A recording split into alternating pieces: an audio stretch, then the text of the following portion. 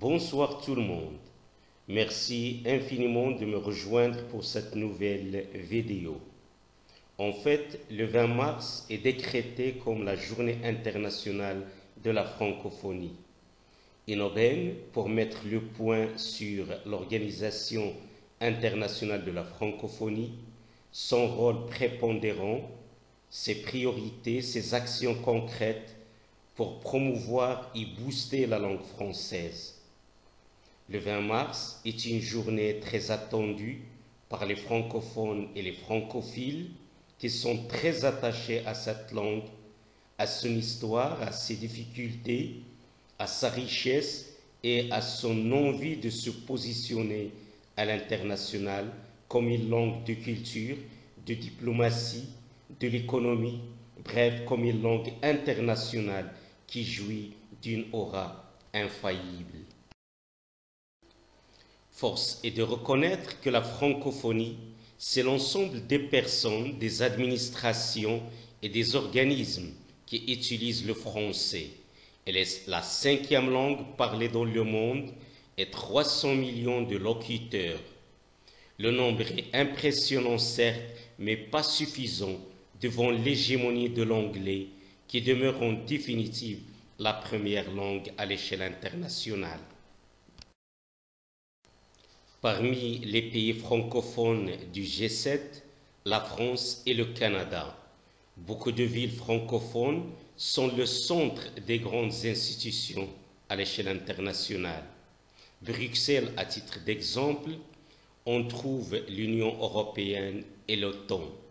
À Genève, l'ONU et l'OMS, le Croix-Rouge. À Paris, on trouve l'OSDE et l'UNESCO une présence effective de la langue française qui prouve ses besoins et que c'est une langue qui jouit d'une crédibilité inévitable. Il est vrai que le Sénégalais Léopold Sédar Senghor, le Tunisien Habib Bourguiba, le Nigérien Amani Diori et le prince cambodgien Norodom Sihanouk militer pour la création d'une communauté francophone internationale. Senghor dit alors vouloir édifier un Commonwealth à la française. Ces vieux routiers et ces politiciens de renommée internationale ont pu réaliser ce rêve et ont pu s'approprier ce butin de guerre selon les propos du dramaturge algérien Khatib Yassine. Il faut reconnaître au passage qu'en 1970, l'Agence de coopération culturelle et technique a été créée à l'occasion du premier événement regroupant chefs d'État et de gouvernement francophones à Niamey, au Niger. Ce type de rassemblement deviendra plus tard officiellement les sommets de la francophonie, dont la première édition s'est tenue en 1986 à Versailles en France. Le président François Mitterrand, arrivé au pouvoir en 1981, lança la francophonie institutionnelle française, véritable outil diplomatique.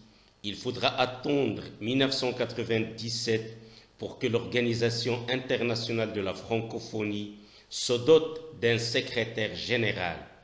Botros Botros Rally de 1998 à 2002, puis l'ex-président sénégalais Abdou Diouf de 2003 à 2014. Depuis 2015, c'est Michel Jean et aujourd'hui, à partir de 2019, c'est la Rwandaise Louise Michikiwabu qui est la secrétaire générale de l'Organisation internationale de la francophonie. La francophonie, c'est tout d'abord la communauté des 300 millions de locuteurs qui parlent le français dans le monde et qui se répartissent sur les cinq continents. Un chiffre plutôt modeste à l'échelle internationale, puisque le français n'est que la cinquième langue la plus parlée au monde, après le mandarin, l'anglais, l'espagnol et la langue arabe. L'écrivaine Leila Slimani, lauréate du prix Goncourt, 2016 est devenue la représentante personnelle d'Emmanuel Macron pour la francophonie. L'objectif que s'est donné cette autrice franco-marocaine, c'est d'écouter ceux qui font vivre la francophonie au jour le jour, qui l'incarnent, qui la font vivre sur les cinq continents et qui ont des idées à nous donner pour le français, pour le faire mieux rayonner. L'idée innovante, c'est de se laisser bousculer, même critiquer pour essayer d'avoir une sorte d'état des lieux, pour essayer de savoir ce qui est l'avenir de la francophonie, selon les propos de la franco-marocaine, euh, l'autrice et lauréate du prix Goncourt 2016, Leila Slimani. Il est intéressant de remonter un peu l'histoire pour comprendre les subtilités de la langue française. Lorsque les Romains ont conquis la Gaule, le latin parlé des soldats et des fonctionnaires romains s'est rapidement répandu. La langue gauloise avait presque disparu au profit du latin. Le français compte aujourd'hui une centaine de mots gaulois comme alouette, balai, caillou, char, chemin, la dune, la ruche, le tonneau, le sillon, la charrue, les mots latins comme animal, plante, lavabo, l'examen, le prospectus, la famille, l'agenda. Et c'est la raison pour laquelle aujourd'hui les Français disent nos ancêtres, les Gaulois. Il y a aussi des empreintes de l'espagnol comme tomate, l'ananas, le tabac, cacao. Des emprunts à l'anglais comme le rail, le wagon, le train. On a emprunté beaucoup de termes au grec. Des mots italiens apparaissent comme horaire, patriotique, l'espagnol aussi avec chocolat, tabac, patate et j'en passe. François Ier lance un pavé dans la mare avec un texte dont on parle aujourd'hui, l'ordonnance de Villers-Cotterêts, qui s'impose comme une étape clé de la vie du français. François Ier exige l'usage de la langue française en 1539 dans les actes administratifs. Le cardinal de Richelieu décida de créer l'Académie française en 1634 pour mieux codifier la langue de l'Hexagone, pour rendre la langue plus riche tout en imposant des règles à respecter minutieusement. Cette institution comptait et compte toujours 40 sièges officiels occupés par des personnalités marquantes de l'histoire de l'Hexagone. Molière, Zola, Guy de Maupassant, Marcel Proust, Denis Diderot. Ces immortels proposent une approche nouvelle et inédite de notre grammaire et de notre orthographe.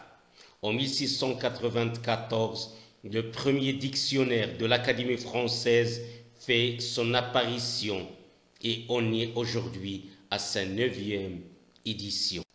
L'invasion romaine n'est donc pas que militaire, elle est également culturelle et linguistique. On doit au latin des mots comme le son, le mur, le temple, le musée, le stade, les roses, les frères, le doigt, le ton, le corps. Chaque mot subit une déformation de prononciation et d'orthographe. Ainsi, le mot Auguste va devenir le mot d'août.